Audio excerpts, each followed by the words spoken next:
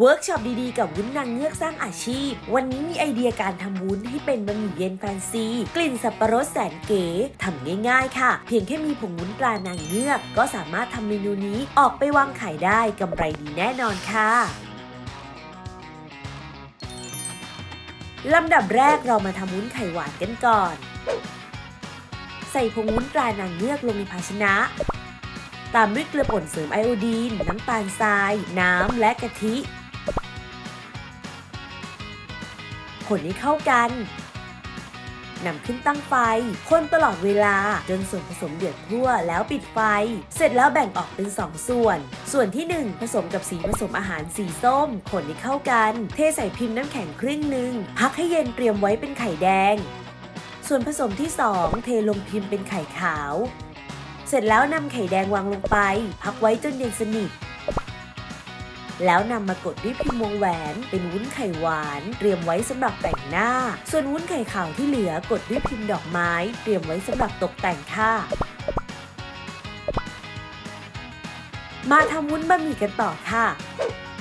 ใส่พงวุ้นตรานางเงือกลงในภาชนะ ตามด้วยน้ำตาลทรายและน้ำเปล่า คนให้เข้ากันนำขึ้นตั้งไฟ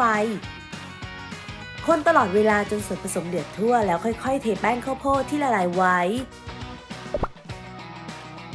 คนตลอดเวลาจนส่วนผสมเดือดข้นแล้วปิดไฟ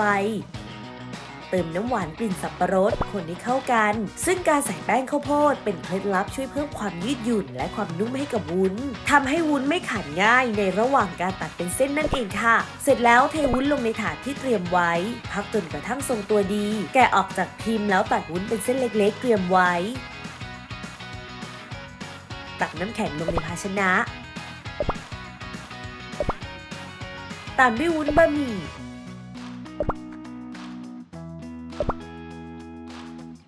น้ำเชื่อมและกะทิ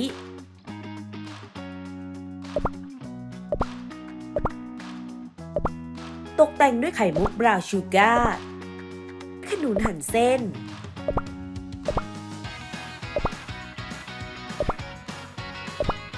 และวุ้นไข่หวาน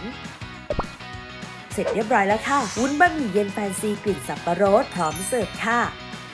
สำหรับใครไม่ได้มาเรียนแต่อยากได้สูตรดีๆ แบบนี้ไปต่อยอดสร้างอาชีพ เข้าไปดูสูตรย้อนหลังได้ที่ YouTube Channel ยิกสักฟู้ดทีวีได้เลยค่ะ และอย่าลืมกดติดตามทุกช่องทาง เพื่อไม่ให้พลาดการแจ้งเตือนข่าวสาร เข้าร่วมกิจกรรมดีๆ แบบนี้ เพราะผงวุ้นตรานางเงือกสนับสนุนคนไทย เรียนจริง รู้จริงมีอาชีพที่มั่นคงค่ะ